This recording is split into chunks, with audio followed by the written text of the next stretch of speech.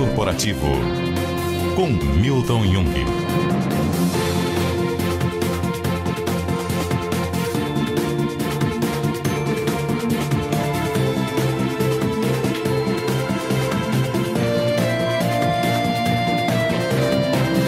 Seja muito bem-vindo a mais um capítulo do Mundo Corporativo, que hoje se dedica a falar sobre a felicidade, o bem-estar. É possível alcançar isso no mundo corporativo, no ambiente de trabalho? Eu acredito que sim. E para a gente falar sobre esse assunto, trouxemos aqui para o estúdio do mundo corporativo alguém que tem algum tempo se dedicado a esta ciência. Sim, porque a felicidade é uma ciência. Nós estamos falando hoje com Luiz Gaziri, que é autor, professor da FI Business School, da FGV, da PUC e autor deste livro aqui que eu tenho em mãos, A Ciência da Felicidade: Escolhas Surpreendentes que Garantem o Seu Sucesso, livro esse publicado pela Faro Editorial. Luiz Gaziri, desde já muito obrigado pela sua gentileza de estar conosco aqui no Mundo Corporativo. Um bom dia para você. Bom dia, Milton. Bom dia aos ouvintes também. Um prazer estar contigo aqui. Luiz, é possível ser feliz no ambiente de trabalho? Sem dúvida nenhuma, Milton. Né? Existem diversas é, variáveis aí da equação da felicidade que podem ser aplicadas no ambiente de trabalho. É, obviamente existem muitas coisas que nos deixam felizes que dependem da estratégia da empresa, né, dos objetivos dessa empresa, mas também existem coisas que os indivíduos podem fazer dentro do ambiente de trabalho que vai trazer uma felicidade é, bastante grande para todos eles. Agora, para isso não precisamos primeiro definir o que é felicidade? Com toda certeza, as pessoas têm que ter uma consciência do que, que verdadeiramente é felicidade. Né? Então, o que os cientistas definem como felicidade é a alegria que a gente sente antes, durante ou depois de praticar certa atividade, né? E principalmente atividades que usam os nossos pontos fortes.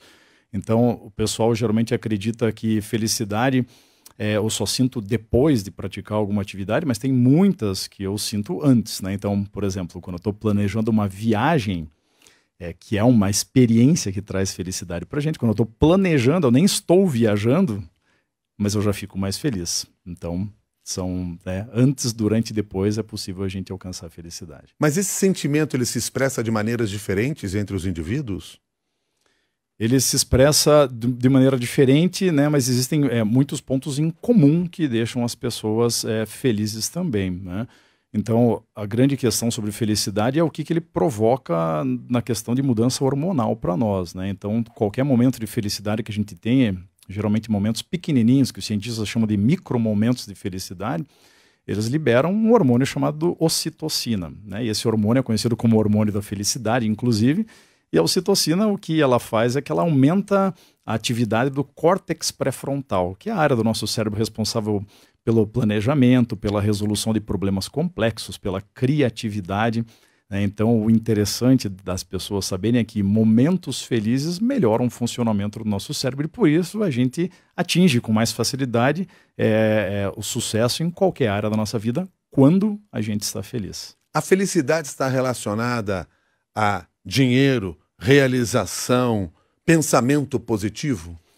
Sim e não. É, é, esses, é, esses três fatores, Milton, são interessantes, né? Porque é, é, a gente pode usar o dinheiro para o bem ou para o mal na nossa felicidade, por exemplo. Então, o que os estudos científicos mostram, e esse estudo, na verdade, até foi feito por dois ganhadores do prêmio Nobel, Daniel Kahneman e o Angus Deaton, eles mostram para a gente que a nossa felicidade, é, de acordo com a nossa renda, é, a felicidade e a renda crescem juntas até uma certa altura. E essa altura é uma vida de classe média, Milton, onde a gente consegue pagar nossas contas, não fica devendo para o banco, consegue ter experiências, ir num restaurante, ir a um teatro, viajar de vez em quando mais dinheiro a partir desse momento que a gente tem as necessidades básicas atendidas não traz mais felicidade. Então, se a gente acredita que acumular dinheiro, acumular bens materiais vai trazer felicidade para a gente, a gente está enganado.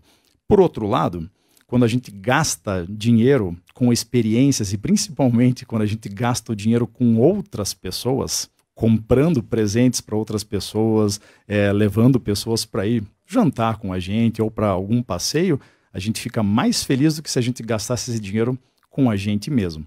Então, a, relação do dinheiro com a felicidade está muito mais na forma como você gasta o seu dinheiro e muito menos relacionada com o quanto você ganha. Isso significa, então, voltando ali para o mundo do trabalho, que necessariamente uma remuneração maior não vai fazer com que você tenha um funcionário mais satisfeito? Sem dúvida nenhuma. O que nós precisamos nos preocupar é com dar condições boas de trabalho para todas as pessoas, salários dignos que paguem con as contas das pessoas e que elas tenham um bem-estar né, por causa desse salário. Agora, ganhar mais dinheiro significar que eu vou ficar mais feliz, essa relação, ela infelizmente não existe porque os cientistas é, descobrem né, que existe um grande inimigo da felicidade que é a adaptação hedônica. O ser humano tem uma facilidade muito grande em se adaptar a mais dinheiro e mais bens materiais a gente ganha um aumento no nosso salário, a gente fica mais feliz, obviamente, mas no mês seguinte, o teu aumento é só o teu salário. A tua vida continua do mesmo jeito. Você pega aquele dinheiro que você ganha mais, você gasta com outras coisas, a tua vida, o teu dia a dia não muda grande coisa. A gente vai se acostumando com mais dinheiro e mais bens materiais. Tanto que tem um estudo da Harvard que é muito legal, feito pelo cientista Grant Donnelly e o Mike Norton. Eu fui até a Harvard conversar com o Grant Donnelly ele analisou a felicidade de 4 mil milionários. E ele descobriu que, se perguntar para os milionários, olha, numa escala de 0 a 10, quão feliz você é hoje? Só 13% dos milionários falam que são plenamente satisfeitos com as suas vidas. Aí o que é interessante é, é descobrir o que, que 52% desses milionários falaram. Olha, minha felicidade é abaixo de 10. E daí os cientistas perguntavam, legal, mas para a tua felicidade ser nota 10, o que, que tem que acontecer com você? Aí, 52% desses milionários falaram o seguinte: eu tenho que ter um aumento entre 500 e 1000% na minha riqueza para ser feliz. Hum. Então vejo como até as pessoas que são milionárias elas se adaptam aos seus milhões e isso não se traduz em felicidade. E talvez elas tenham esse aumento e não se tornem felizes por causa disso. Exato, que as pessoas vão começando a se acostumar, né? Isso se torna parte do dia a dia delas, então é, ganhar mais dinheiro não tem um efeito positivo na felicidade a partir desse momento quando a gente tem as nossas contas pagas, uma condição de vida tranquila, né? Dinheiro traz felicidade quando tira a gente da insegurança, quando tira a gente da pobreza, de uma condição de rua. Aí sim o dinheiro assim traz um ganho exponencial na felicidade. A partir do momento que as necessidades básicas estão atendidas, mais dinheiro não compra mais felicidade. Então vamos partir para a questão do reconhecimento. Então eu não tenho um salário maior necessariamente, mas se eu tiver reconhecimento na minha empresa, eu me sinto mais satisfeito, tenho bem-estar, alcanço a felicidade? Interessante, né? Uma pergunta muito legal, porque né, na minha vida como professor, muitas vezes quando eu apresentava para os meus alunos, né, olha, dinheiro não traz motivação e felicidade da forma como as pessoas acreditam. E os meus alunos chegavam lá no final da aula falavam: puxa, professor, ó, o senhor tem razão é, dinheiro não traz mais felicidade, porque o que as pessoas querem de verdade é reconhecimento. E eu fui estudar o reconhecimento e conversei com diversos cientistas, é, e o que eu descobri é que o reconhecimento ele também cai nessa parte da adaptação hedônica, porque chega num certo momento que a gente se acostuma de receber reconhecimento das pessoas, então ele não traz um efeito positivo. Inclusive tem um estudo que é, onde algumas crianças podiam fazer um desenho e se elas fizessem um desenho bem feito, elas poderiam ganhar um diploma é, super bonito, aquelas coisas que criança adora, e colar lá num quadro de reconhecimento da escola, onde todos os alunos que passassem iam ver lá no mural o diploma com o nome da criança. E o que os cientistas descobriram, né, analisando um grupo que podia receber reconhecimento e um grupo de crianças que fez o desenho sem receber nenhum reconhecimento, é que as crianças que fizeram um desenho sem nenhum reconhecimento, fizeram desenhos mais bonitos de acordo com jurados, né, que não sabiam do que se tratava o experimento, eles ganharam notas maiores. E o que aconteceu nas semanas seguintes foi que essas crianças que fizeram um desenho esperando ganhar um reconhecimento, algumas semanas depois eles perderam o interesse natural em desenhar. Eles passavam menos tempo desenhando. Você explica todas essas pesquisas de forma mais detalhada no livro A Ciência da Felicidade. Exato. Mas eu queria que você me explicasse agora o porquê esse resultado quando foram pesquisar a questão do reconhecimento para essas crianças. Por que aquelas que recebiam um reconhecimento maior depois não estavam mais tão motivadas como deveriam estar? Ou é. como nós, no senso comum, imaginávamos que elas deveriam estar? Uhum. É, existem diversos fatores né, pela, pelos quais o reconhecimento é, tira a motivação natural das pessoas. Em primeiro lugar, que desenhar é, a minha paixão pelo desenho ou minha paixão pelo meu trabalho ele é um motivador interno, né? Eu faço aquilo porque eu gosto, porque é importante para mim, porque eu vou ficar cada vez melhor. A partir do momento que entra uma variável, se você fizer teu trabalho bem feito, você vai ganhar um reconhecimento, vai ganhar uma comissão, vai ganhar um bônus. As pessoas elas passam a realizar o trabalho apenas para ganhar o bônus. Então elas começam a derivar menos satisfação da atividade em si. Então a gente vê esse problema dentro do mundo corporativo, que é muito grande, na área de vendas, por exemplo.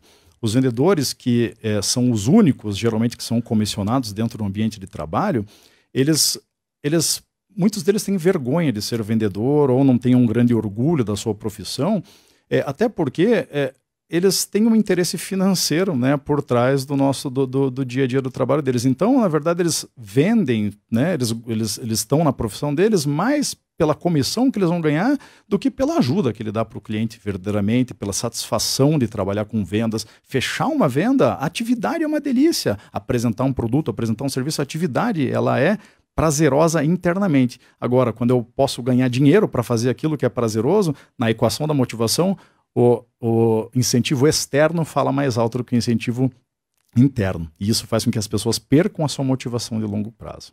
E aí, no terceiro aspecto ao qual eu havia me referido lá no início dessa nossa conversa, porque eu falei assim, dinheiro, reconhecimento, e a ideia é assim, eu tenho que ter um pensamento positivo, isso muda o meu comportamento. Como é que você analisa esse ponto? No ponto de vista da ciência, quando a gente fala de felicidade, os cientistas mostram para a gente que ser feliz é ter mais momentos positivos do que negativos na vida. Então, eu me torno uma pessoa positiva quando eu tenho muitos momentos positivos na minha vida, eu cultivo, eu procuro esses momentos positivos no dia a dia. Agora, existe uma confusão muito grande das pessoas entre ser positivo e ser uma pessoa que pensa positivo.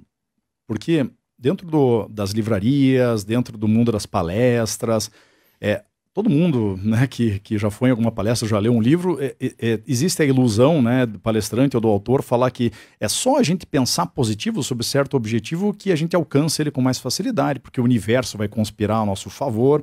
E o que os cientistas mostram para gente, e essa cientista chama-se Gabrielle Oettingen, eu estive lá em Nova York conversando com ela, ela está há mais de 20 anos estudando pensamento positivo, e o que ela demonstra é que pensar positivo faz com que a gente tenha menos chance de atingir nossos objetivos. Por quê? Olha só que coisa interessante. Então, nesses estudos aí, a Gabrielle Oettingen, ela descobriu que logo depois que a gente pensa positivo, existe a ativação de uma área de prazer do nosso cérebro, que chama-se núcleos accumbens. É, pensar positivo dá prazer. Logo em seguida, o nosso cérebro começa a entender que a gente já atingiu aquele objetivo. E essa, essa, nossa, essa nossa crença de que a gente já atingiu o objetivo e a gente só atingiu na nossa cabeça faz com que a gente relaxe. Então, os cientistas pedem para as pessoas pensarem positivo sobre algum, sobre algum objetivo e medem os batimentos cardíacos dessa pessoa. E eles descobrem que logo depois de pensar positivo, existe uma diminuição da pressão sistólica do coração da pessoa o coração da pessoa começa a bater mais devagar. Existe uma relação direta entre pressão sistólica e motivação. Quanto maior a minha pressão sistólica, mais motivado eu estou, mais eu quero agir em direção aos meus objetivos. Só que pensar positivo reduz meu batimento cardíaco e reduz a minha motivação. Então, eu tenho menos chance de agir em direção ao meu objetivo. Então, me ajuda a entender como eu devo uh, exercitar o meu cérebro diante de um desafio como esse, da busca de, uma, de um bem-estar, de uma felicidade nesse sentido? É, uh, esse, esses, esses estudos científicos mostram para gente que pensar positivo atrapalha nossos objetivos e que para a gente atingir objetivos com mais facilidade, a gente também deve usar o outro lado. A gente deve pensar negativo também. Então a gente tem que pensar, por exemplo, né, qual que é o meu objetivo? O objetivo comum para muitas pessoas, ah, eu quero emagrecer. Tá, legal. É, eu quero emagrecer quantos quilos? Ah, eu quero emagrecer 3 quilos nos próximos 10 dias. Legal. O que, que você vai. É, que, que vai acontecer com você quando você emagrecer esses 3 quilos? Puxa, eu vou me sentir mais bonita, eu vou poder praticar uma atividade física com mais tranquilidade. Ok. Agora, quais são as coisas dentro de você que te impedem de emagrecer 3 quilos, né? Pensar negativo. Quais são os obstáculos que eu tenho para emagrecer 3 quilos? Puxa, não vou na academia, ou puxa, na frente do meu trabalho eu tenho uma confeitaria e todo dia que eu saio do escritório eu tenho vontade de comprar uma bomba de chocolate lá comer, então eu encontro qual que é o obstáculo, eu penso negativo. E em seguida eu faço um plano, né? Puxa, então se eu sair do meu escritório com vontade de comer uma bomba de chocolate, eu vou passar por uma outra saída, eu vou fazer um caminho diferente, né, para voltar para minha casa, para eu não passar na frente da confeitaria e não comer a bomba de chocolate. Só pensar positivo, né, a gente acreditar que pensar positivo vai fazer o mundo conspirar, o universo conspirar a nosso favor, é, não vai funcionar. Por quê? Porque a gente precisa de ação para fazer as coisas acontecerem na nossa vida. Bom, vamos lá. Diante de todo esse cenário, o que, que nós devemos fazer, como nós devemos agir diante de todos esses fatores que estão aí para nós? Como eu consigo ser, então, uma pessoa mais realizada, mais feliz, seja no ambiente de trabalho, seja na minha vida, no dia a dia? Legal é, quando a gente vai falar de dinheiro, por exemplo, né? Então a gente tem que ter a consciência de que mais dinheiro não vai trazer mais felicidade para a gente. Porque o que acontece, Milton, é que a depressão está aumentando no mundo inteiro e isso acontece porque as pessoas têm objetivos ruins de vida, se comparam com os outros, né? Então a gente tem que ter a consciência de que é, a gente tem uma vida boa. Muitas pessoas, na verdade, têm uma vida espetacular, só que elas não sabem. Tem um monte de gente aqui no Brasil que tem casa, que tem comida, que tem um emprego, que tem carro, que tem uma esposa, um marido que ama, que tem filhos, que tem família e tem vergonha dessa vida, dessa vida espetacular. Por quê? Porque não tem o carro importado, porque não tem a bolsa do designer italiano, porque não tem um escritório só seu. Então as pessoas, por causa dos seus objetivos de vida, elas acabam atrapalhando a sua própria felicidade. A maioria das pessoas tem uma vida espetacular. Agora, quando a gente fala de gastar dinheiro, gastar dinheiro com as outras pessoas traz uma felicidade enorme para a gente. Comprar presentes, comprar experiências em restaurantes legais, em shows, em teatro, viajar. É, isso traz muito mais felicidade do que trocar seu carro, do que comprar um terno italiano e esses objetivos que as pessoas têm, que né, são, são os bens que logo logo a gente se acostuma com eles. Agora, uma viagem, eu pode passar 10 anos que eu vou me lembrar da viagem. Agora, o terno que eu comprei há 10 anos atrás, dificilmente eu vou me lembrar. Né? Então, essa felicidade de longo prazo, que é a felicidade eudaimônica, chamada pelos cientistas. Né? Reconhecimento, nós temos que entender que a felicidade do reconhecimento está quando a gente reconhece as pessoas, não quando a gente fica esperando os outros nos reconhecer. Porque Colocar a felicidade na mão dos outros, Milton, é um grande risco. Eu nunca sei se alguém vai me reconhecer no meu trabalho pela minha performance, ou se eu fui no salão e, e, e pintei meu cabelo, se alguém vai reconhecer meu, meu corte de cabelo ou meu cabelo pintado. Eu não posso colocar minha felicidade na mão das outras pessoas. Eu tenho que agir todos os dias para conquistar minha felicidade. Então, a gente reconhecendo as pessoas é, no nosso dia a dia, no trabalho, a gente consegue mais felicidade. E na, na questão do pensamento positivo, é a gente ter consciência né, de que a gente precisa pensar negativo, que a gente precisa. É, é, porque é difícil pensar negativo, porque não dá prazer, porque ativa até uma área de estresse do nosso cérebro pensar negativo. Mas quando a gente pensa negativo no que, que pode dar errado, é que a gente consegue fazer um plano melhor para atingir o nosso Pensar negativo não é pensar assim, nada vai dar certo, as coisas nunca acontecem comigo, não é isso. Não, exato. Mas é enxergar os pontos positivos e negativos que existem na situação que você terá de enfrentar. Exatamente. Ver principalmente quais são os obstáculos que vão me impedir de fazer atingir aquele objetivo no dia a dia porque aí diante dessa consciência fica mais fácil de fazer escolhas, porque Isso. pelo que você já mostrou até aqui, pelo que você diz no livro A Ciência da Felicidade, muito depende da escolha que eu faço. Exato. Felicidade está 40% da felicidade está nas nossas escolhas do dia a dia, em coisas pequenininhas, em se eu vou acordar de manhã e vou dar um beijo na minha esposa, ou se eu vou pegar meu telefone celular e ver qual foi a última desgraça que aconteceu no mundo. É uma escolha que a gente faz. Se a gente chega no trabalho e enfia a cabeça no telefone celular não dá bom dia para ninguém, ou se a gente guarda o nosso telefone e dá bom dia para as pessoas, interage com elas, é uma escolha que a gente tem para fazer. Se eu acredito, né, se a minha escolha é ser rico, ser milionário, é, e cultivar como se esse fosse o único sinal de sucesso, ou se eu escolho que sucesso de verdade é estar com a minha esposa, com os meus filhos, é, contribuir para o mundo, fazer os meus colegas de trabalho terem sucesso. Então, existem escolhas que se abrem a cada minuto da nossa vida. Se a gente vai pegar ou não, isso vai refletir na nossa felicidade lá na frente. Me permita trazer aqui uma série de questões que estão sendo apresentadas pelos nossos ouvintes nos diferentes canais. Eu começo pelo e-mail. A Soraya Mergulhão escreve para cá e diz assim: Me parece que as pessoas atualmente pautam sua felicidade pelo sucesso que os outros corroboram, muito pelos likes nas redes sociais, pelas confirmações que as pessoas nos dão naquele caminho. Mas a internet está mostrando um número imenso de pessoas que se destacam e fazem coisas notáveis. Sendo assim, não somos mais exclusivos nem inéditos. Então, onde encontrar esse reconhecimento? Muito legal. É, a partir do momento que a gente reconhece as outras pessoas, naturalmente, em algum momento, a gente vai receber o reconhecimento delas também. Então, isso não significa que a gente nunca vai receber o reconhecimento dos outros, né? Se a gente, em primeiro lugar, começar a reconhecer as pessoas ao nosso redor. É, quanto à questão das redes sociais, essa é uma pergunta super interessante da Soraya, porque as mídias sociais, os cientistas mostram para a gente que elas trazem mais tristeza para a gente no dia a dia, de acordo com a forma como a gente usa ela. Então, as mídias sociais são uma, uma, uma das formas mais fáceis da gente fazer comparações sociais. O ser humano tem uma necessidade de saber se eu estou bem ou se eu estou mal.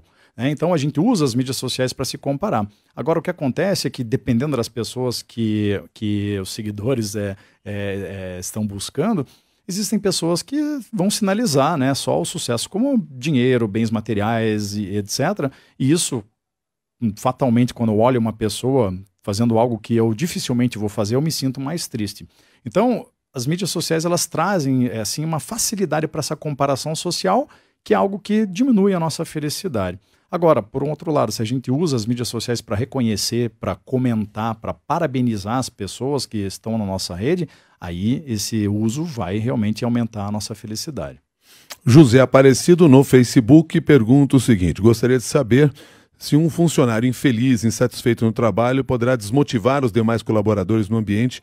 E uma outra pergunta é se é possível ser feliz sendo pobre. Olha, é, quanto, quanto à questão do mundo né, no dia a dia no ambiente de trabalho, um funcionário. Alguém feliz ao seu lado uhum. impacta o ambiente? Impacta. Então, existe um cientista é, da Yale chamado Nicholas Christakis que ele estuda um fenômeno chamado efeito do contágio nós somos influenciados pelas pessoas que vivem perto da gente e nós influenciamos as pessoas também. Nosso humor se espalha para as pessoas, o humor, a motivação das outras pessoas se espalha para nós.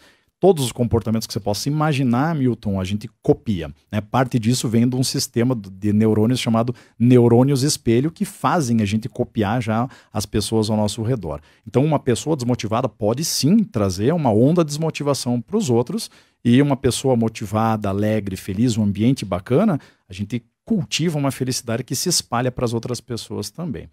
Sobre a segunda questão, é possível uma pessoa pobre ser feliz? É muito difícil, né? porque a insegurança financeira ela traz assim toda uma questão de redução do córtex pré-frontal. Então, a, a Rajita Sinha, da, da Yale, também descobriu que quanto mais dificuldade uma pessoa passa na sua vida, quanto mais estresse ela tem, menor se torna o córtex pré-frontal, aquela área do cérebro responsável pelo planejamento, pelo pensamento racional, resolução de problemas complexos. Então, o que acontece é que a pessoa precisa dessa parte do cérebro dela para achar uma forma dela conquistar uma segurança financeira, mudar de vida, só que o cérebro dela não permite com que ela tenha esses insights, esses pensamentos pensamentos. Então, é realmente muito difícil ser feliz tendo insegurança financeira. Isso é um pouco explicado lá pela própria pirâmide de Maslow? Olha, é interessante a gente ter. Uma das grandes surpresas que eu tive na minha vida é a de que a pirâmide de Maslow não funciona. Né? Existem diversos estudos científicos que mostram que Maslow. Não porque o Maslow era mal intencionado, é porque na época que ele fez, na década de 40, a ciência não tinha todos os recursos que tem hoje. Né? Então, quando a gente fala de motivação, hoje a gente fala da teoria mais aceita pelos cientistas, que é a teoria da autodeterminação, que é do Edward Disse e do Richard Ryan, que eu tive o prazer também de conversar com os dois em Rochester, no estado de Nova York, e eles determinam que a motivação está em três é, fatores, né? Autonomia, competência e relacionamentos. Ter autonomia, ter poder de escolha, poder fazer as coisas que eu quero, competência, sentir que eu posso ser melhor a cada dia, é, relacionamentos, né? cultivar esses relacionamentos, ser amado, é, amar outras pessoas, isso é o que traz motivação verdadeira para nós. Então, uh, vamos pegar aqui de novo aquele ponto que nós estamos falando ali sobre a questão financeira. Quer dizer, uhum. a insegurança financeira uhum. dificulta a felicidade. Agora, Sim. não significa que você, sendo uma pessoa uh, que tenha uma vida econômica mais frágil, você uhum. não consiga buscar essa felicidade dentro de outros aspectos, diante das escolhas que você possa fazer. Exato, né? Porque o dinheiro é apenas uma variável da equação da motivação, né? Um, um erro que as pessoas cometem é querer explicar um fenômeno enorme com a felicidade através de uma variável só. Ah, ser feliz é ter um monte de dinheiro. Mas existem diversas outras variáveis que aumentam a felicidade. Reconhecer os outros, ter gratidão, ajudar as pessoas ao nosso redor, gastar dinheiro com, com outras pessoas. E por incrível que pareça, Milton, né, tem estudos aí que mostram que, inclusive em países assim extremamente pobres, quando as pessoas gastam dinheiro com uma outra pessoa, quando elas né, deixam uhum. de comprar um remédio para elas e compram para um vizinho, por exemplo, essas pessoas ficam mais felizes. Então, uma mensagem que os cientistas descobriram é que nós estamos aqui para ajudar os outros. Nós estamos aqui para fazer as outras pessoas felizes. O Dilson Rodrigues pergunta pelo Facebook como o gestor deve motivar os colaboradores nesses momentos de incerteza de trabalho e tragédias pelo mundo. E aí imagino que essa pergunta passa pela questão do reconhecimento ao qual nós estamos falando. Uhum. Muitas vezes se diz que é esse reconhecimento que faz com que aquela pessoa vá se sentir mais motivada. Isso. Você diz que não é bem assim. Exato. E aí, o que, que o gestor deve fazer para motivar os seus colaboradores? Olha, em primeiro lugar, é pagar um salário decente para as pessoas. Né? Isso é uma coisa, uma prática que infelizmente a gente vê que é, é, difícil ter no mundo corporativo. As pessoas, muitas vezes as empresas querem explorar as pessoas pagando salários muito baixos e eu, como fui executivo da área de vendas, conheço bem de perto essa situação. Né? Vendedor é uma vida de insegurança financeira e depois as, é, é os gestores querem colocar a culpa nos vendedores, não no sistema de remuneração, que é o que influencia a performance das pessoas. Então, é dar segurança financeira para as pessoas. Isso é a primeiro, primeira questão. Segunda, dar metas que as pessoas consigam atingir. Existem diversas empresas que colocam metas que são impossíveis das pessoas baterem. Quando uma pessoa não bate a meta no primeiro mês, não bate no segundo, não bate no terceiro, começa a gerar nela um comportamento chamado desesperança aprendida. Essa pessoa entende que não importa o quanto ela trabalha, quantas horas ela fica no escritório, para quantos clientes ela liga, ela não vai bater a meta dela. A partir desse momento, ela desiste de bater a meta. Então tem que colocar metas boas, né? E tem que gerar é, é, é, ter estratégias dentro da empresa onde um funcionário possa reconhecer o outro, que não precisa ser o chefe reconhecendo. Quando eu sou reconhecido por um colega do meu lado que faz aquilo que eu faço, que enfrenta as mesmas dificuldades, eu valorizo mais. Então, muitas vezes o gestor tem que deixar claro para as pessoas que nós precisamos reconhecer uns os outros, ajudar os colegas de trabalho, isso vai tornar o ambiente de trabalho mais feliz. A Isabela Aires, nossa colaboradora aqui no mundo corporativo, quer saber como evitar a autossabotagem no trabalho e na vida pessoal. Muitas vezes, comenta ela, as pessoas tentam se enganar e dizem que estão felizes por puro status é o famoso empurrar com a barriga. Uhum. É, é um, um, grande perigo porque chega em alguma situação na nossa vida que a gente vai ter uma grande de uma dificuldade, né? Que é, dificuldades, momentos negativos são inevitáveis para o ser humano, né? A gente acreditar que a gente vai viver uma vida sempre feliz e que eu posso enganar que eu estou feliz, isso na verdade piora todas né, as minhas condições para ser feliz. Então, o que acontece, né, de autossabotagem, é que a gente tem que ter a consciência de quais são as variáveis realmente que trazem felicidade para nós e se dedicar para essas variáveis para a gente não se auto-sabotar. E quando a gente faz isso, né, no longo prazo a gente consegue conquistar mais criatividade, um pensamento melhor, um cérebro que funciona de uma forma melhor, um balanço hormonal melhor. E quando a gente constrói muitos momentos positivos no nosso dia a dia, é, e a gente passa por uma grande dificuldade, a gente escapa com mais facilidade dos momentos ruins. Né? Então temos que construir muitas emoções positivas. A Abigail pergunta se a felicidade só é valorizada depois da tristeza. Tristeza, ela faz parte de uma vida feliz também. A gente não pode acreditar que ser feliz é só passar por momentos espetaculares. Por quê? Porque, como eu acabei de falar, momentos ruins são inevitáveis na vida. Ninguém aqui está livre de levar uma fechada no trânsito, de ser xingado por alguém, de ser maltratado por um cliente, de se separar da esposa do marido, de ser demitido. São coisas que vão acontecer.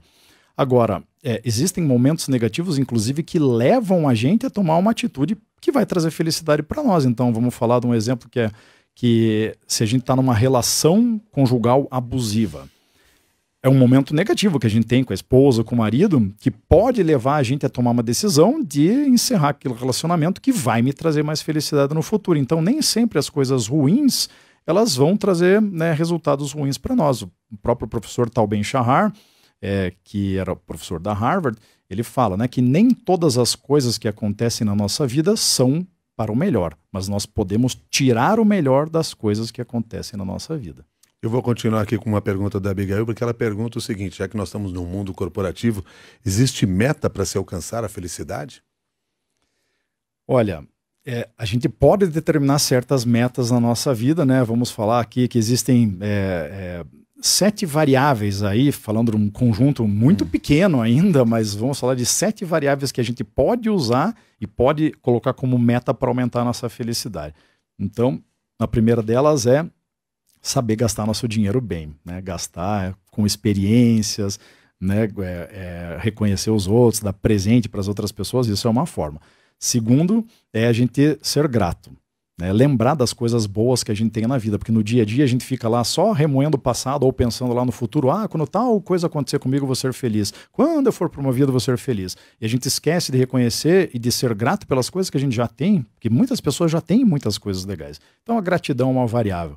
A terceira é reconhecer os outros, né? Algo que a gente já falou bastante aqui. A outra é ajudar as pessoas. Quanto mais a gente ajuda os outros, mais feliz a gente fica.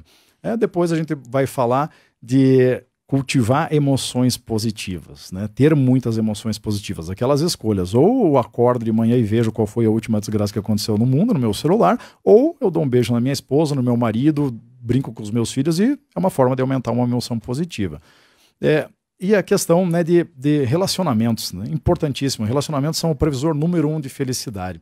A gente, se a gente quer colocar uma meta, única meta, né, para você ser mais feliz, se você quiser, Abigail, é quando você está com uma outra pessoa, esteja de verdade com essa pessoa. Guarde seu, seu telefone celular, esteja de verdade, interaja, faça aquele momento viver.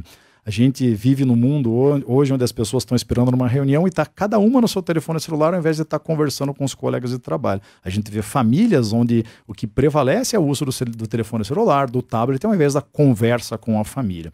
É curioso, Milton, que um dia desses eu estava num voo e tinha um menor desacompanhado e o comissário chegou ali para fazer uma brincadeira com um menininho falou: Puxa, amigo, que legal, do que, que você gosta? E essa, e essa criança falou o seguinte: ele falou celular. Ele gosta de celular. Ele não falou que ele gostava da mãe, do pai, de brigadeiro, de jogar bola. Ele falava que ele gostava do celular. Então vejam o que, que a gente está criando nesse mundo quando a gente, ao invés de favorecer os relacionamentos pessoais, a gente está favorecendo os relacionamentos virtuais. É um grande perigo para a maior variável da nossa felicidade, o Cláudio me cobra aqui, eu passo a cobrança para você, porque você falou que 40% da nossa felicidade depende das nossas escolhas. Uhum. Ele quer que você feche esta equação para chegarmos aos 100%. Muito bem. 50% da nossa felicidade é genética, praticamente imutável. 10% da nossa felicidade está nas circunstâncias da nossa vida. Quanto que a gente ganha? Qual o carro que a gente dirige? A gente é casado ou solteiro? Tem filho ou não tem? Mora em São Paulo ou mora em Toronto? Isso são circunstâncias da vida que mudam. O grande perigo é, a gente, é que a gente vê muitas pessoas que colocam todas as fichas da felicidade nas circunstâncias da vida, nos 10%. Quando eu for rico, vou ser feliz. E aí a gente atinge né, o nosso objetivo de ser rico e a gente fica menos feliz do que a gente imaginava. Porque quando a gente espera muitas vezes um 100% de retorno, ah, vou ganhar mais e vou ficar 100% mais feliz. A gente espera 100%, mas a gente só recebe 10%. É meio frustrante, não é para nós.